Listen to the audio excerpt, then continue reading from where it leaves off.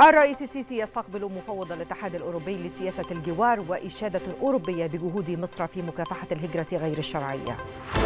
مدبولي يوجه بسرعة تفعيل مبادرة الشراكة الصناعية التكاملية لتنمية اقتصادية مستدامة بين مصر والإمارات والأردن. لافروف يشدد على ضرورة سحب السلاح الثقيل من أوكرانيا ويشير إلى احتمالية تورط دولة ثالثة في الأزمة بسبب تزويدها كييف بالسلاح. السادسة في القاهرة الرابعة بتوقيت جرينتش نشرة إخبارية مفصلة تأتيكم من التلفزيون المصري أهلا بكم.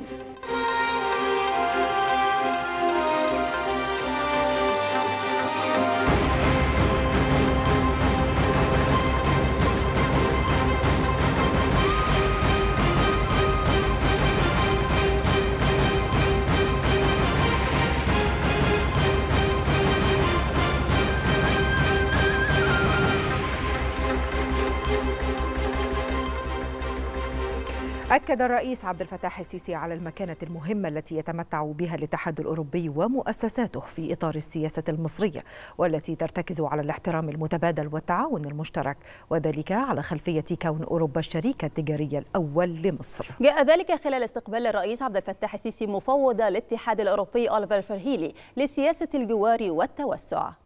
استقبل السيد الرئيس عبد الفتاح السيسي السيد أوليفر فارهيلي مفوض الاتحاد الأوروبي لسياسة الجوار والتوسع وذلك بحضور السيد سامح شكري وزير الخارجية بمشاركة السفير كريستيان بيرجر سفير الاتحاد الأوروبي بالقاهرة. صرح المتحدث الرسمي باسم رئاسة الجمهورية بأن السيد الرئيس أكد على المكانة الهامة التي يتمتع بها الاتحاد الأوروبي ومؤسساته في إطار السياسة المصرية والتي ترتكز على الاحترام المتبادل والتعاون المشترك. وذلك على خلفية كون أوروبا الشريك التجاري الأول لمصر. فضلا عن الروابط المتشعبة التي تجمع بين الجانبين والتحديات المشتركة التي تواجههما على ضفتي المتوسط واشتراك الاتحاد الأوروبي في عملية التنمية التي تشهدها مختلف القطاعات في مصر. ومعربا سيادته في هذا الإطار عن التطلع لاستمرار التواصل النشط بين الجانبين خلال الفترة المقبلة. من جانبه، أعرب مفوض الاتحاد الأوروبي عن تشرفه بلقاء السيد الرئيس مثمنا العلاقات التاريخية المتميزة التي تجمع الاتحاد الأوروبي بمصر، ومؤكدا اهتمام الجانب الأوروبي بتطوير وتعميق الشراكة التقليدية مع مصر، بالنظر إلى تشارك الجانبين في الجوار الإقليمي المتوسطي. وفي ظل الثقل السياسي الذي تتمتع به مصر دوليا واقليميا بقيادة السيد الرئيس وكونها همزة الوصل بين العالمين العربي والأوروبي ومحور صون الأمن والاستقرار في منطقة الشرق الأوسط والقارة الإفريقية. أوضح المتحدث الرسمي أن اللقاء تناول استعراض مختلف جوانب العلاقة بين مصر والاتحاد الأوروبي سواء فيما يتعلق بأبعادها السياسية أو الاقتصادية والتنموية. حيث تم الإعراب عن الارتياح إزاء مجمل التطورات التي يشهدها التعاون المؤسسي بين الجانبين وتأكيد الحرص على أهمية استمرار التنسيق المشترك وتعزيز الحوار المتبادل في هذا الخصوص لتدعيم علاقات الصداقة بينهما في ضوء المصالح والتحديات المشتركة. كما تطرق الاجتماع إلى تناول تطورات القضايا الدولية والإقليمية وفي مقدمتها الأزمة الروسية الأوكرانية وتداعياتها الاقتصادية على المستوى العالمي، خاصة في مجالات الطاقة والغذاء. كما تم تبادل وجهات النظر فيما يتعلق بالقضية الفلسطينية وسبل التنسيق المشترك في الفترة القادمة بين مصر والاتحاد الأوروبي تجاه جهود تحسين الأحوال المعيشية والخدمية في قطاع غزة تكاملا مع المبادرة المصرية لإعادة الإعمار كما تم التباحث حول مستجدات الأوضاع في ليبيا حيث تم التوافق على أهمية الإسراع في مسار عقد الانتخابات حيث أكد السيد الرئيس في هذا الإطار على أهمية إنهاء تواجد الميليشيات المسلحة والجماعات المتطرفة داخل ليبيا والتي تقوض فرص تحقيق الاستقرار والسلام. أضاف المتحدث الرسمي أن المفوض الأوروبي أشاد بجهود مصر في مجال مكافحة الهجرة غير الشرعية مؤكدا تقدير الاتحاد الأوروبي لهذه الجهود ووقف حالات الهجرة غير الشرعية من مصر منذ عام 2016 خاصة وأن مصر تستضيف أكثر من ستة ملايين لاجئ من جنسيات مختلفة يتمتعون بكافة الحقوق الأساسية. وهو ما يعد نموذجا ناجحا في المنطقة في هذا الصدد تحت القيادة الحكيمة للسيد الرئيس. كما تم خلال اللقاء تناول قضية سد النهضة حيث أكد السيد الرئيس للمفوض الأوروبي أهمية تلك القضية الوجودية بالنسبة لمصر وشعبها. مشددا سيادته على الموقف المصري الثابت في التوصل إلى اتفاق قانوني ملزم بشأن قواعد ملء وتشغيل السد وفق القانون الدولي ذو الصلة في هذا الشأن.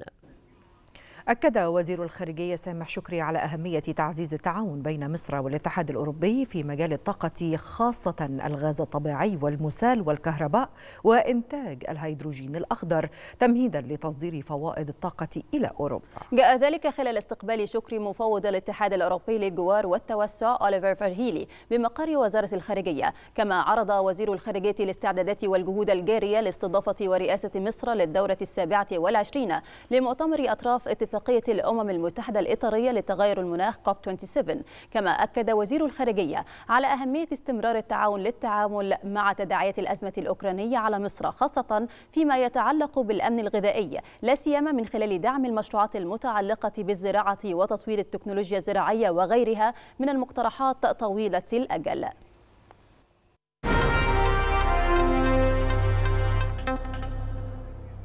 وجه رئيس مجلس الوزراء مصطفى مدبولي بأهمية العمل على سرعة تفعيل ما تشتمل عليه مبادرة الشراكة الصناعية التكاملية لتنمية اقتصادية مستدامة من أوجه التعاون بين مصر والإمارات والأردن والعمل على سرعة توقيع العقود التنفيذية للمشروعات التي تم التوافق بشأنها.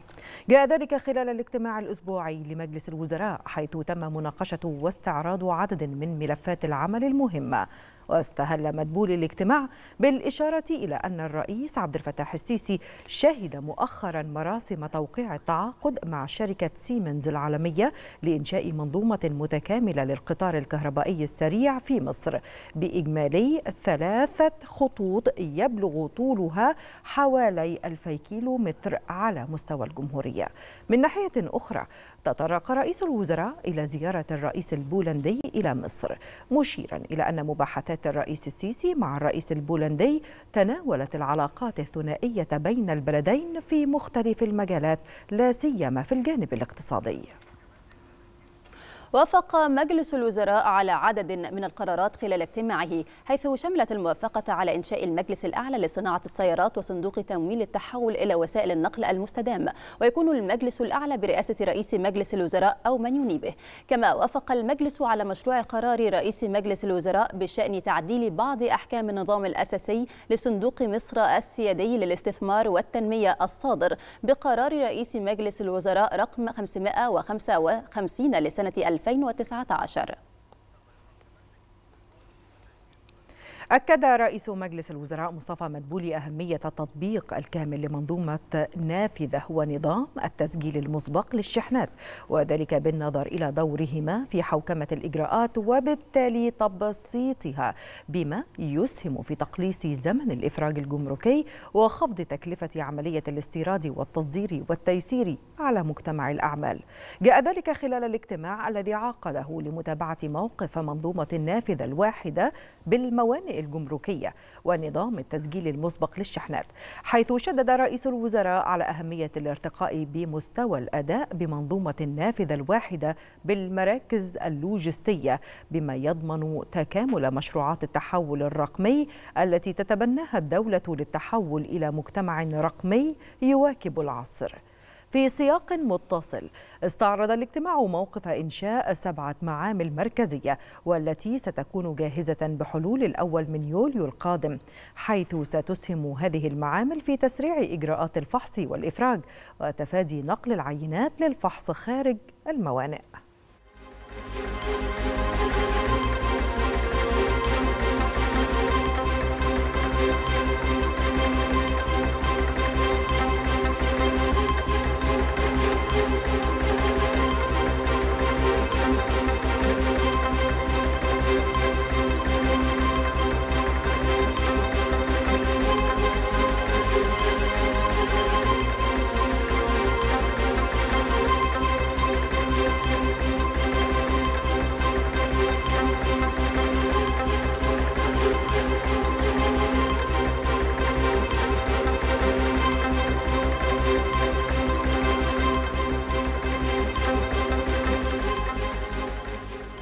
أكد رئيس مجلس الوزراء مصطفى مدبولي ضرورة بذل أقصى الجهود لتوفير الأراضي الجاهزة لإقامة محطات تحلية مياه البحر بحيث تصل طاقتها الإجمالية إلى نحو مليوني متر مكعب يوميا وذلك استعدادا لطرحها على شركات القطاع الخاص.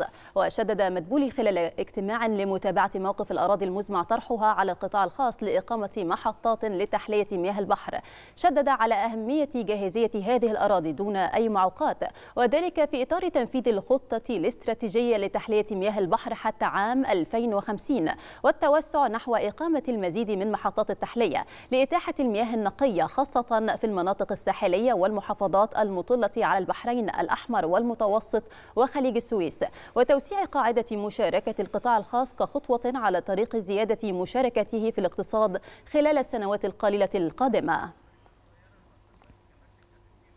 واصلت أجهزة وزارة الداخلية جهودها للتصدي لجرائم حجب السلع عن التداول بالأسواق في محاولة من البعض لرفع أسعارها وكذلك جرائم بيع سلع منتهية الصلاحية. هذا وقد نجحت الحملات الأمنية في هذا الإطار في تحقيق العديد من النتائج الإيجابية التالية. نتابع.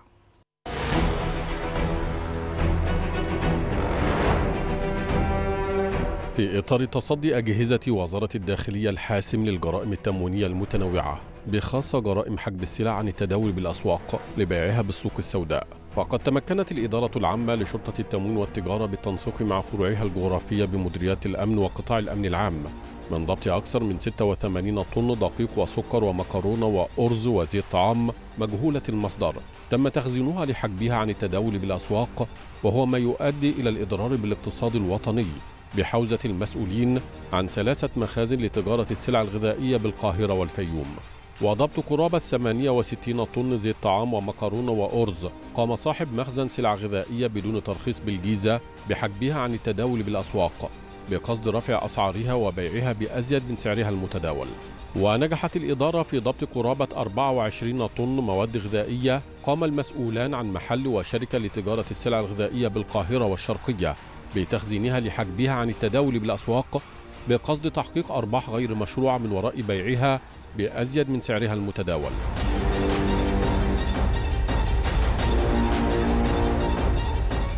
وضبط قرابة 49 طن حديد وأسمنت مجهولة المصدر وغير معلن عن أسعارها بحوزة مسؤول مخزن لتجارة مواد البناء بالشرقية وملك مخزن لتجارة مواد البناء بالقليوبية. قام بحجبها عن التداول بالأسواق لرفع أسعارها وبيعها بالسوق السوداء. كما تم ضبط طنين أسمدة زراعية مدعمة محظور تداولها خارج الجمعيات الزراعية بحوزة مالك محل لتجارة الأسمدة الزراعية بالبحيرة لبيعها بالسوق السوداء. وعلى صعيد التصدي لجرائم بيع سلع منتهية الصلاحية تمكنت الإدارة من ضبط قرابة 33 طن أسماك وملح طعام غير صالحة للاستهلاك الآدمي وتمثل ضررا على صحة المواطنين حال طرحها للبيع والتداول بالأسواق. بأربعة مصانع لتعبئة وإنتاج الأسماك بدون ترخيص بالغربية والشرقية.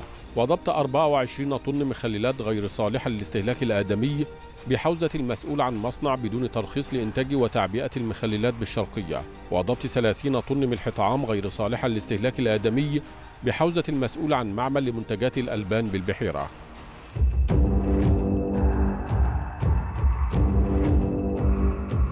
وتمكنت الإدارة من ضبط 24 طن أعلاف حيوانية غير صالحة للاستهلاك الحيواني وذات أثر بالغ الضرر على الثروة الحيوانية.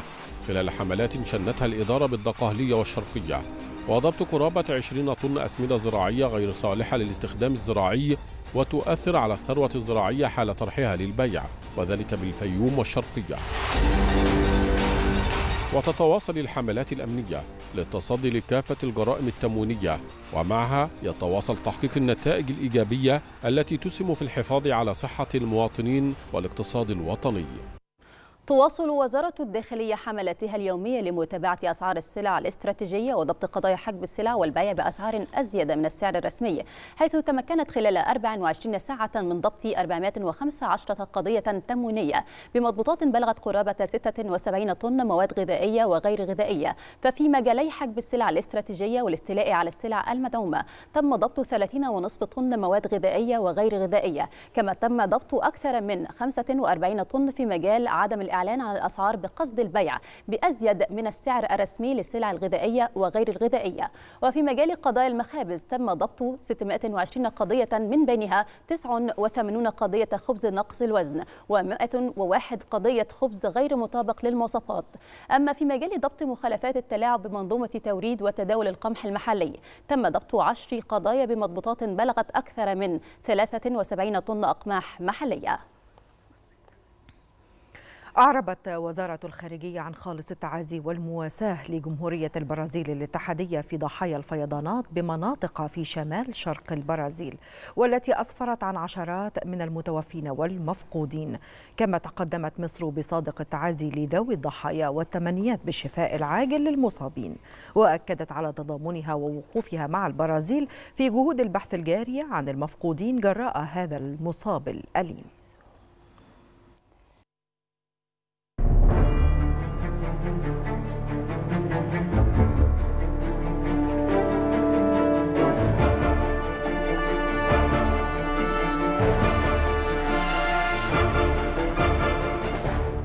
إلى تطورات الأزمة الأوكرانية حيث أكد وزير الخارجية السعودية فيصل بن فرحان أن موقف دول مجلس التعاون الخليجي موحد من الأزمة في أوكرانيا. ودعا بن فرحان خلال الاجتماع الوزاري المشترك الخامس للحوار الاستراتيجي بين مجلس التعاون الخليجي وروسيا إلى العمل على التهدئة وإيجاد حل للأزمة الأوكرانية. يأتي الاجتماع في ظل زيارة يقوم بها الوزير الروسي إلى السعودية حيث عقد الاجتماع برئاسة وزير الخارجية الأمير فيصل بن فرحان وبمشاركة مشاركة الأمين العام لمجلس التعاون نايف الحجرف. وقال الحجرف إن المجلس بحث عددا من التقارير بشأن متابعة تنفيذ قرارات المجلس التي صدرت سابقا. وكذلك الموضوعات ذات الصلة بالحوارات والعلاقات الاستراتيجية بين دول مجلس التعاون والدول والتكتلات العالمية بالإضافة إلى آخر التطورات الإقليمية والدولية والمستجدات التي تشهدها المنطقة. اتهم وزير خارجية روسيا سيرجي لافروف الدول الغربية بمخالفة ميثاق الأمم المتحدة بتصرفاتها ضد موسكو مشددا على ضرورة سحب السلاح الثقيل من أوكرانيا. وخلال مؤتمر صحفي أشار لافروف إلى احتمالية تورط دولة ثالثة في الأزمة الأوكرانية بسبب تزويدها كييف بالسلاح. كما أضاف لافروف في الوقت ذاته إلى أن بلاده تواجه صعوبات في تصدير الحبوب بسبب العقوبات على السفن. فيما يتعلق بروسيا ليس لديها أي مشاكل في ضمان وصول وتوريد الحبوب إلى الأسواق العالمية. المشكلة موجودة فقط لدى عدم وجود حرية خروج لهذه السفن من الموانئ الأوكرانية بسبب الألغام التي وضعها وضعتها القوات الأوكرانية. اتهم الكرملين واشنطن بإشعال الأزمة بعد الإعلان عن تسليم أنظمة صواريخ أمريكية إلى كييف. وقال ديمتري بيسكوف المتحدث باسم الكرملين إن الولايات المتحدة متمسكة بقتال روسيا حتى آخر جندي أوكراني. وأوضح بيسكوف أن عقوبات الاتحاد الأوروبي على النفط الروسي ستضر بسوق الطاقة العالمية مشيرا إلى أن موسكو يمكنها تغيير مسار الصادرات للحد من خسائرها. قالت روسيا إن قرار الولايات المتحدة تزويد أوكرانيا بأنظمة صاروخية متطورة وذخائر سيزيد من مخاطر وقوع مواجهة مباشرة. وصرح نائب وزير الخارجية الروسي سيرجي ريابكوف بأن موسكو تنظر إلى المساعدة العسكرية الأمريكية لأوكرانيا بشكل سلبي للغاية، مشيرا إلى أن الولايات المتحدة لسنوات عديدة لم تحاول فعل أي شيء من أجل إيجاد حل للصراع الأوكراني.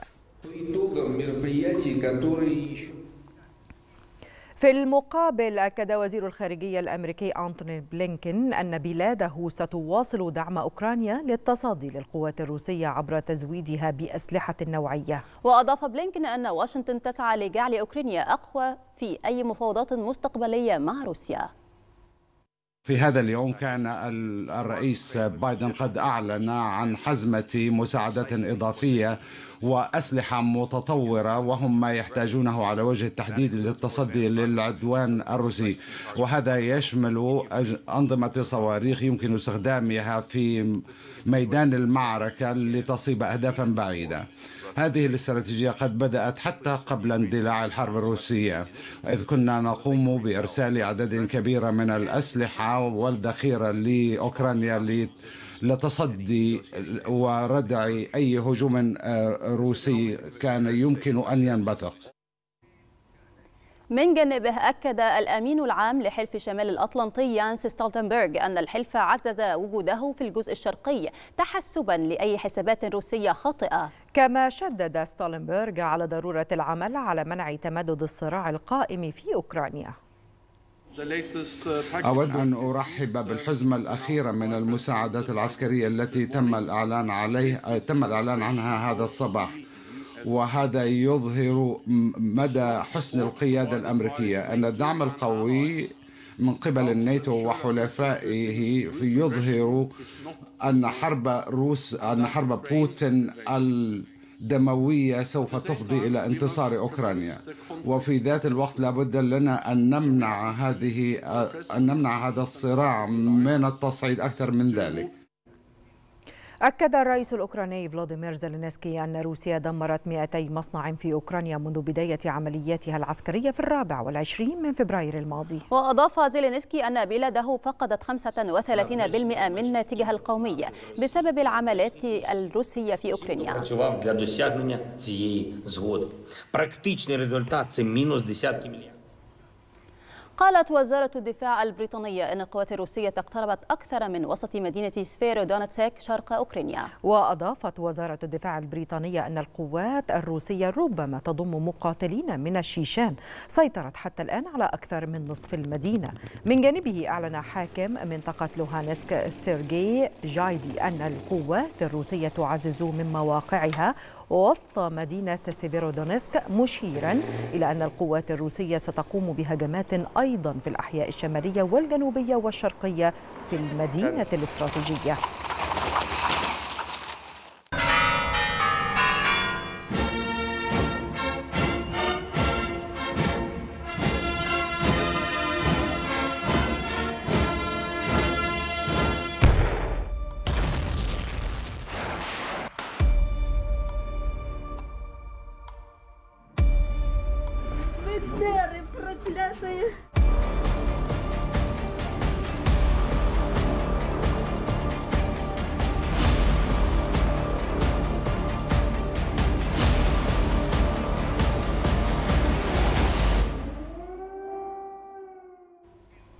أعلن المستشار الألماني أولف شولتز أن ألمانيا ستقدم أنظمة حديثة للدفاع الجوي إلى أوكرانيا. وقال شولتز في خطابه أمام البرلمان الألماني البوندستاغ إنه بمساعدة هذه الأنظمة ستكون أوكرانيا في وضع يسمح لها بحماية مدينة رئيسية بأكملها من الهجمات الجوية الروسية. أضاف شولتز أن ألمانيا تعهدت بمنح أوكرانيا رادار تعقب قادر على اكتشاف مدافع الهاوترز ومدافع الهاون والمدفعية الصاروخية. وأكد المستشار الألمانية أن برلين سترسل قاذفات صواريخ متعددة إلى أوكرانيا بالتنسيق الوثيق مع الولايات المتحدة موضحا أن هذه الأنظمة لن تكون قادرة على استهداف الأراضي الروسية. أعلنت بولندا أنها استقبلت حتى الآن 3 ملايين و750 ألف لاجئ فروا من أوكرانيا منذ بداية العملية العسكرية الروسية في الرابع والعشرين من فبراير الماضي. وأوضحت وكالة حرس الحدود البولندية أن نحو 22500 لاجئ من أوكرانيا دخلوا البلاد خلال 24 ساعة الماضية مقابل 20800 لاجئ في اليوم السابق عليه. يذكر أن بولندا مررت في شهر مارس الماضي مشروع قانون يقدم حزمة لدعم واسعة النطاق للاجئين الأوكرانيين الفارين من بلادهم. يتم بموجبه منحهم إقامة قانونية في بولندا ويكفل لهم حق الوصول إلى التعليم والرعاية الصحية وإلى خدمات اجتماعية.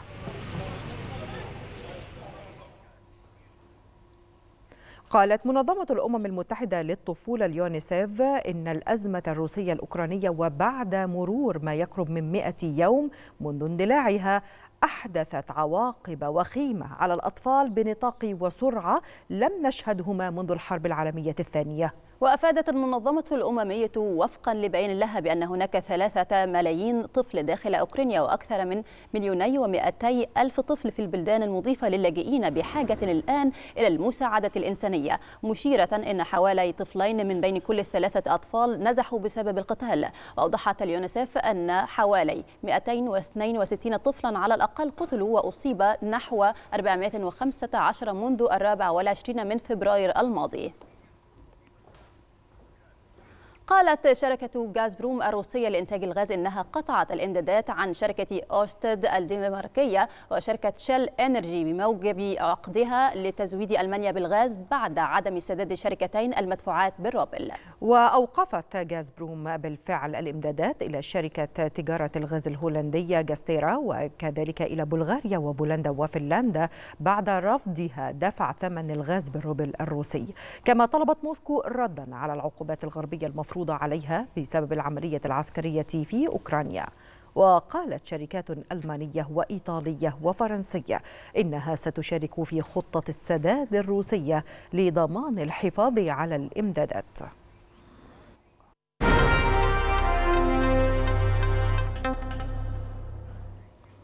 توقع اتحاد تجار الحبوب الأوكراني أن ينخفض محصول أوكرانيا من القمح في 2022 إلى 19 مليون و200 ألف طن من 33 مليون طن سجلها في عام 2021 لكن انخفاض الصادرات سيدفع المخزونات لمستويات لارتفاع قياسية. كما توقع الاتحاد أن تتمكن أوكرانيا من تصدير 10 ملايين طن من القمح و15 مليون طن من الذرة لكن الطاقة التصديرية الحالية لا يمكنها أن تتخطى 18 مليون طن للموسم بأكمله. وتراجعت صادرات كييف بشكل حاد بعد أن أغلقت روسيا موانئها على البحر الأسود منذ بدء العملية العسكرية الروسية في أوكرانيا.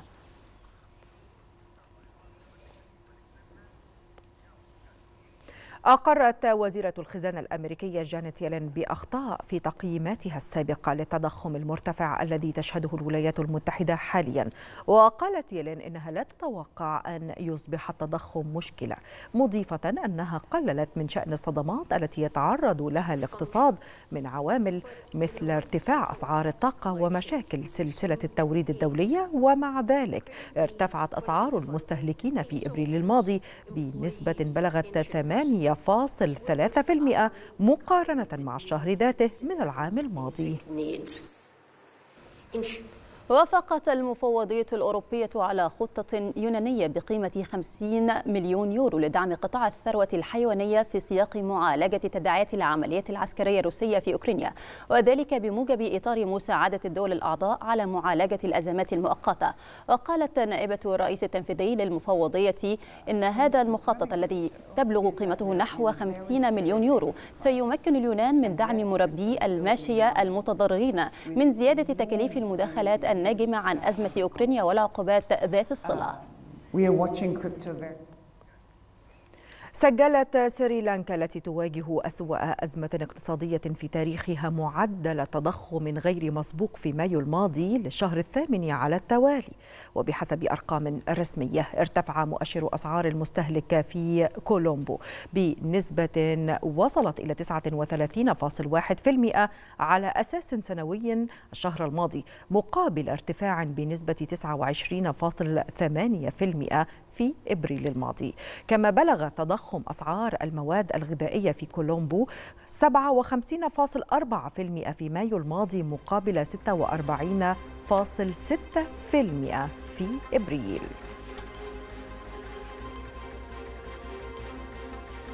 نشرتنا مستمرة مع حضراتكم نتابع فيها. منظمة الصحة العالمية تطرح روشتة علاجية لاحتواء ومحاصرة مرض جدري القردة.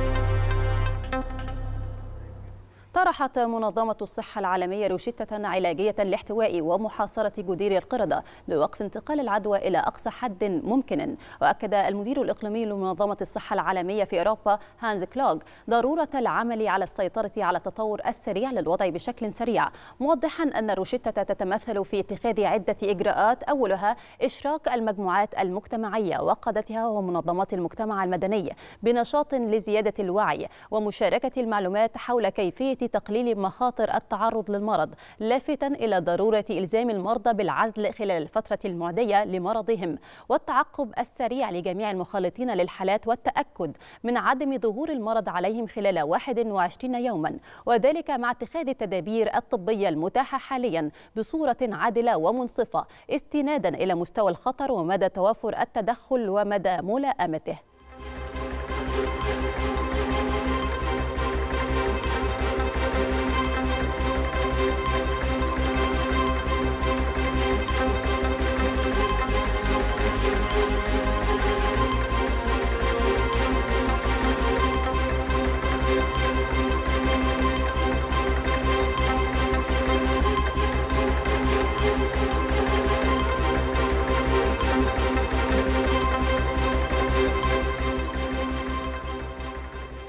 للحديث معنا حول هذا الموضوع. معنا هاتفيا دكتور فؤاد عودة رئيس الرابطة الطبية الأوروبية. أهلا بك معنا دكتور.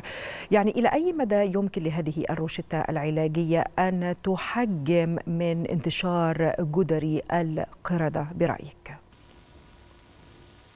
مساء الخير للجميع. بالنسبة لمرض جدري الكرود إحنا اليوم نتكلم عن أزيد من 200 حالة في العالم في 200 دولة وأكثر من 150 حالة مشتبه فيها. السؤال اليوم المهم اللي إحنا كعلماء وكخبيرين في الصحة العالمية نجاوب على لماذا مرض جرود جدر الكرود ظهر في فترة قصيرة أرقام كبيرة مثل هذه الأرقام يختلف عن ظهوره السابق بعد ما تم مقاومته في سنة 1980 عشان هيك لازم نستمر بالوقاية بالنصائح والإرشادات لكشف الأعراض اللي موجودة عند المصابين عزل المصابين بدون رعب وخوف ليش؟ لأنه فيش عنده أعراض خطيرة وحتى الآن نتكلم فقط في حالة توفي في نيجيريا نعم. آه كثير من الأشخاص اللي عملوا تطعيم قبل 50 سنة لمرض جدري القرود هم أو جدري العادي عندهم مقاومة لهذا المرض، اليوم الخطر كثير عن الأطفال وخصوصا أقل من سنة. وفي نفس الوقت كل شخص مصاب احتمال إنه يصيب أشخاص ثانيين تعد من واحد لخمسين. نعم. وهنا أسألك دكتور نعم. إلى أي مدى الإجراءات الاحترازية التي كانت متبعة في حالة مرض كورونا؟ وأعلم جيدا أنها هذا المرض مختلف عن جدري القردة من حيث الشكل والمضمون وكذا. لكن إلى أي مدى هذه الإجراءات الاحترازية ربما تفيد في مسألة العزل وخلافه في مسألة عدم انتشار المرض بشكل واسع وعلى نطاقات واسعة. نعم إحنا لازم نقسم النصائح في نوعين. أول شيء انتقال الفيروس من الحيوان إلى الإنسان. إذا صار احتكاك قوي وإذا صار هذا ومعروف من الحيوان مثلا الحيوان عض إنسان ومعروف هذا هذا الحيوان لازم اخذ إجراءات باسرع وقت ممكن. في نفس الوقت الإنسان يعدي الإنسان الثاني في طريقة الاحتكاك المباشر احتكاك الجلد خصوصا في ظهور التضخم الجلدي وفي نفس الوقت عملية الجنس واستعمال جميع النصائح والإرشادات في هذه الحالة وخصوصا الجنس بين الذكور لأنه في احتمال نعم. كبير إنه ينتشر في طريقة الدم أو بوسيلة نعم. الدم أو بالاحتكاك المباشر في عملية ممارسة الجنس نعم. خصوصا بين الذكور زي ما ظهر في إسبانيا بعد مهرجان اللي عملوه وكان حوالي ثمان حالات كلياتهم ذكور وكان احتكاك مباشر بين بعض وخصوصا في ممارسة الجنس عشان هيك لازم ناخذ في عين الاعتبار هاي الحالات واكل اللحوم بعد غسلها بطريقة جيدة لأنه للأسف انتشار الفيروس يتم أيضا بوسيله اللحوم المتلوثة والغير مغسوله بطريقه جيدة ومش مثبت من أصلها عشان هيك هاي وسيلة لازم ناخذ في عين الاعتبار إنها بتسبب انتقال وفي نفس الوقت الملابس أو السطوح وخصوصا الملابس لأنه الملابس للشخص المصاب نعم. لازم الواحد يغسلها أو لم يتم احتكاك معها أحسن وعشان وصلت فكرتك دكتور فؤاد عودة رئيس الرابطة الطبية الأوروبية. أشكرك جزيل الشكر.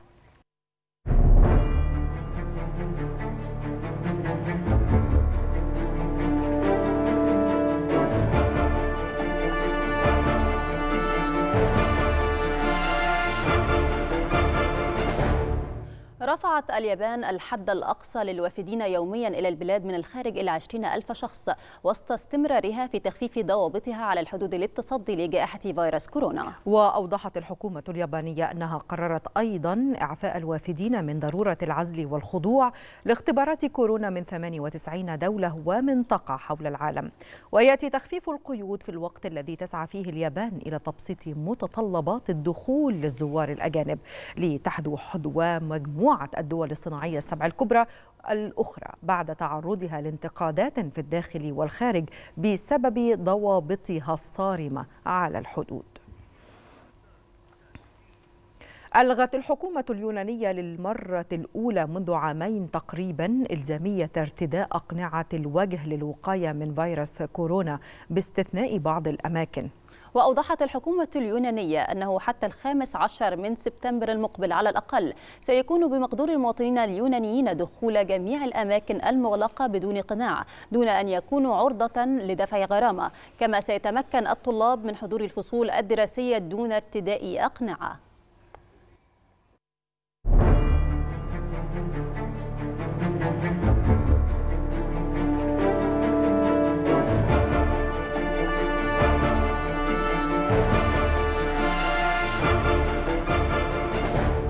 عقد رئيس مجلس الوزراء الدكتور مصطفى مدبولي اجتماعا لمتابعة الموقف التنفيذي للمرحلة الأولى من المشروع القومي لتطوير الريف المصري للمبادرة الرئاسية حياة كريمة. شهد الاجتماع استعراض الموقف التنفيذي للمرحلة الأولى من المشروع كما تم عرض ملخص تنفيذي لإنهاء كل من شبكات الصرف الصحي وشبكات مياه الشرب والوصلات المنزلية وكذلك شبكات الغاز وشبكات الكهرباء بالإضافة إلى شبكات الاتصالات والطرق والمجمعات الحكومية.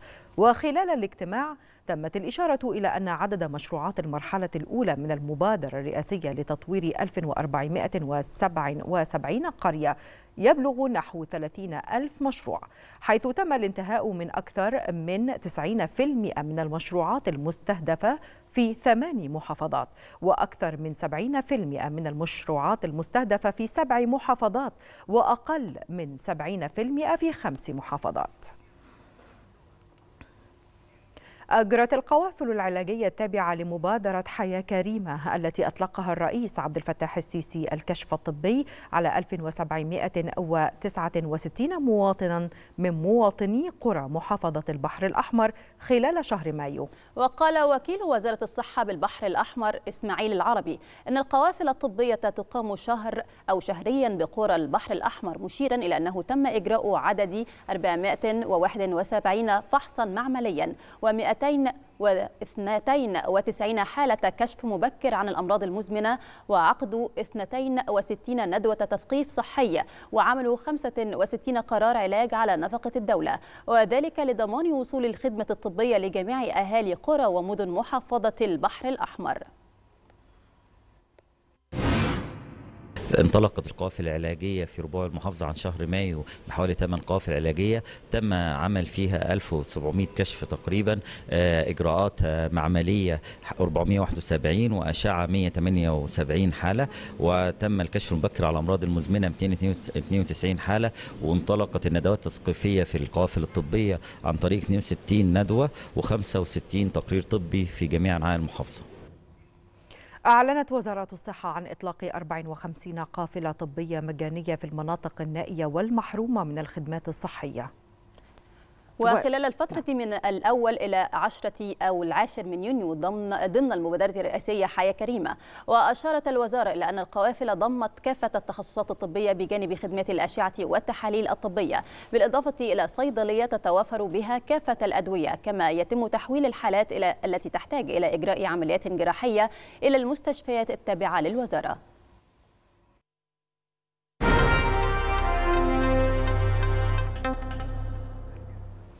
في إطار زيارة المفوض الأوروبي لدول الجوار وسياسة التوسع بالمفوضية الأوروبية أوليفر فارهيلي لمصر.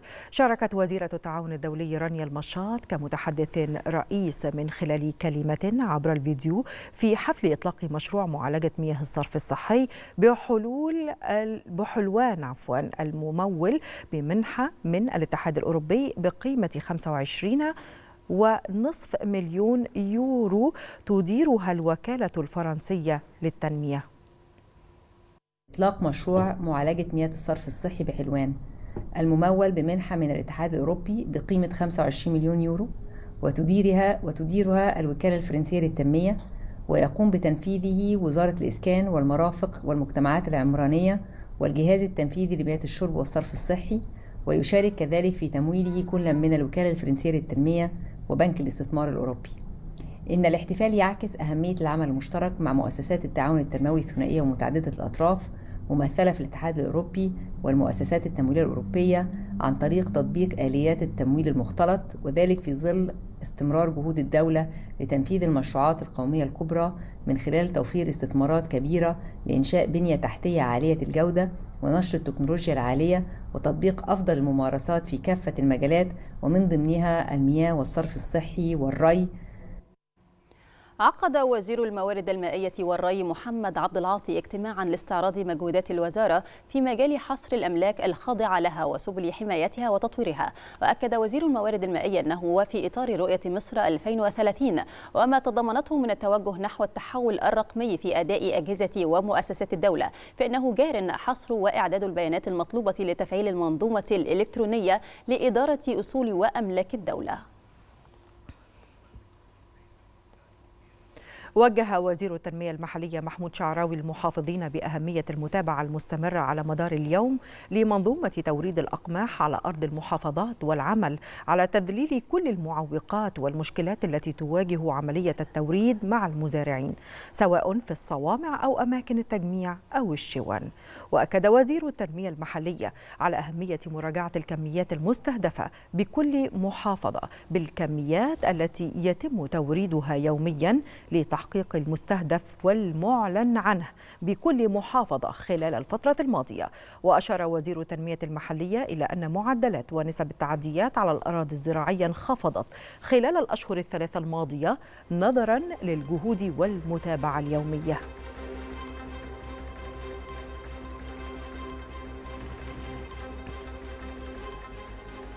وصلنا وإياكم مشاهدينا الكرام إلى محطتنا الاقتصادية. الجولة الاقتصادية تقدمها لنا الزميلة حكمة عبد الحميد. اتفضل. شكرا نهى شكرا فاطمة. وهذه بالفعل الوقفة الاقتصادية بنشرة السادسة.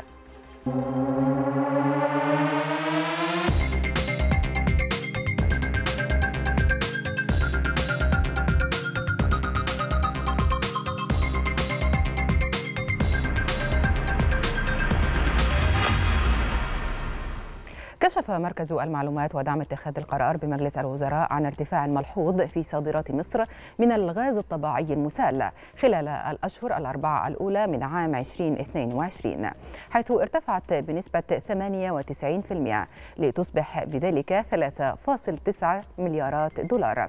وأوضح المركز أن إيرادات التصدير من الغاز الطبيعي زادت بنحو 768% لتصبح 4 مليارات دولار في 2021 مقارنة بنحو 456 مليون دولار في 2020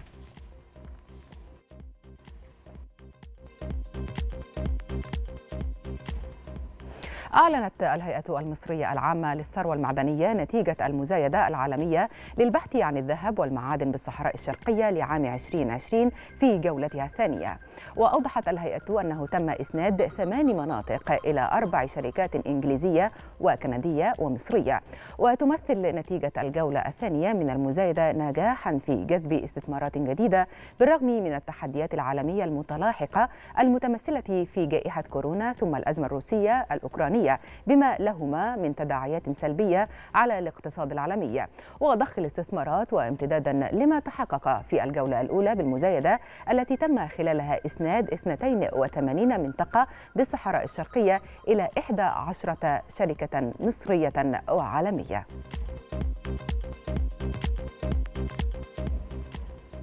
تفقدت وزيرة التخطيط هالة السعيد ومحافظ مصر لدى مجموعة البنك الإسلامي للتنمية أعمال فعاليات الاجتماعات السنوية للبنك والتي تقام تحت رعاية الرئيس عبد الفتاح السيسي. ووجهت الوزيرة خلال جولتها بضرورة توفير الدعم اللازم للمشاركين وممثلي الجهات المختلفة ومتابعة التحديات التي قد تواجه أي منهم. مشددة على انتشار جميع فرق عمل الوزارة للحفاظ على سير عمل الجلسات المنعقدة خلال الفعاليات الاجتماعات السنوية. يشارك في الاجتماعات وزراء الاقتصاد والتخطيط والمالية في الدول الأعضاء بالبنك البالغ عددها 57 دولة.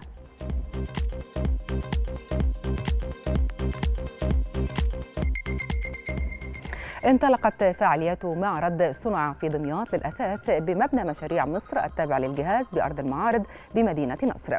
وذلك تشجيعا للصناعة الوطنية وللنهوض بإحدى الصناعات المهمة التي تشتهر بها المحافظة وتحظى منتجاتها بسمعة عالمية طيبة. للمزيد من التفاصيل يستعرضه لنا مراسل التلفزيون المصري كريم بيبرس وأهم أحداث المعرض.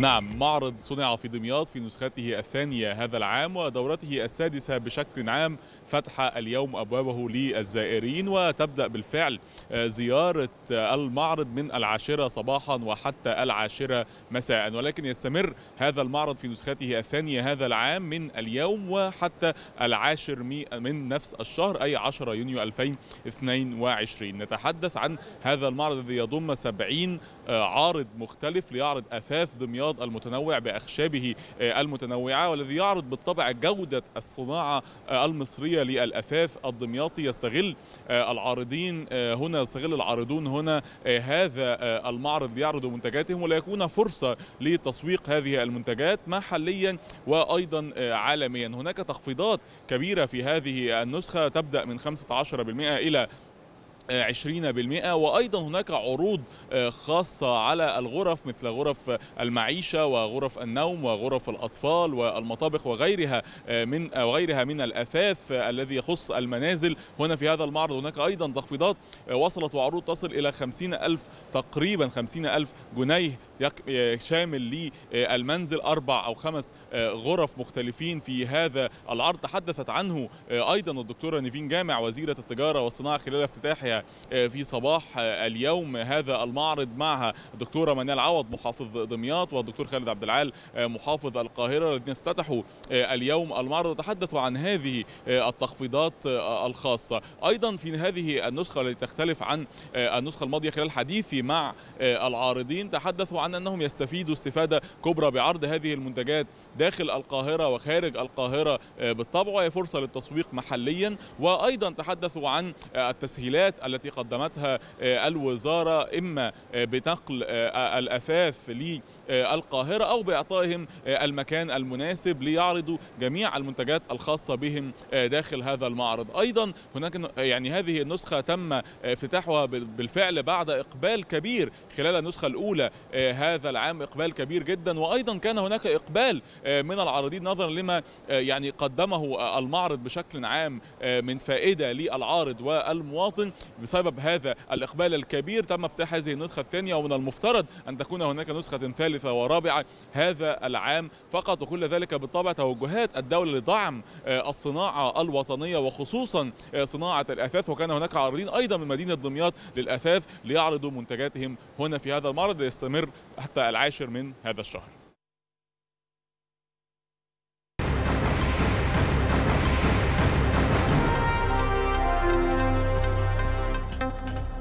من جديد مرحبا بكم وإلى البورصة المصرية حيث أنهت المؤشرات تعاملات اليوم على تراجع جماعي بضغط من مبيعات المستثمرين المصريين بينما اتجهت تعاملات العرب والأجانب نحو الشراء. وسجل رأس المال السوقي مستوى 661.2 مليار جنيه. أما على صعيد المؤشرات فتح مؤشر EGX 30 عند مستوى 10150 نقطة وأغلق عند 10083 نقطة مرتفعا بنسبة 65 من 100% وفتح مؤشر الشركات الصغيرة والمتوسطة EGX 70 عند مستوى 1744 نقطة وأغلق عند 1726 نقطة منخفضا بنسبة 1.2 من 100% فتح مؤشر EGX 100 عند مستوى 2621 نقطة ليغلق عند 2596 نقطة متراجعا بذلك بنسبة 95 من 100%. إلى أسواق العملات حيث تباينت أسعار العملات أمام الجنيه المصري ليسجل الدولار الأمريكي 18.56 جنيه للشراء و18.67 للبيع. سجل اليورو 19.87 للشراء و20 جنيه للبيع. وصل الجنيه الاسترليني اليوم نحو 23 33 للشراء والبيع 23 48 الدرهم الإماراتي 5.5 من 100 للشراء و5.8 للبيع.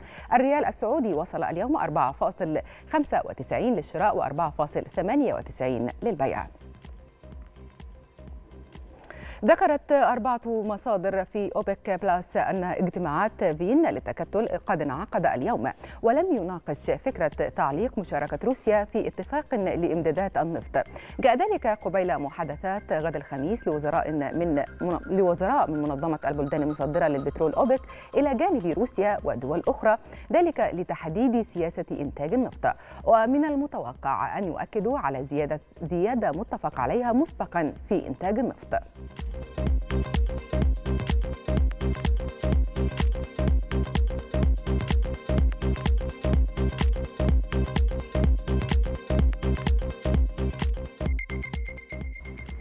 انتهت وقفتنا الاقتصادية بنشرة السادسة وعودة مرة أخرى إلى نهى وفاطمة إليكما. شكرا حكمة عبد الحميد على هذه الوقفة الاقتصادية. إذا مشاهدينا ختام نشرتنا والنهاية بالعناوين. الرئيس السيسي يستقبل مفوض الاتحاد الأوروبي لسياسة الجوار وإشادة أوروبية بجهود مصر في مكافحة الهجرة غير الشرعية. مدبولي يوجه بسرعة تفعيل مبادرة الشراكة الصناعية التكاملية لتنمية اقتصادية مستدامة بين مصر والإمارات والأردن. لافروف يشدد على ضرورة سحب السلاح الثقيل من أوكرانيا ويشير إلى احتمالية تورط دولة ثالثة في الأزمة بسبب تزويدها كييف بالسلاح. مشاهدينا وصلنا إلى ختام هذه الجولة الإخبارية من التلفزيون المصري. نشكركم على طيب المتابعة. دمتم في أمان الله.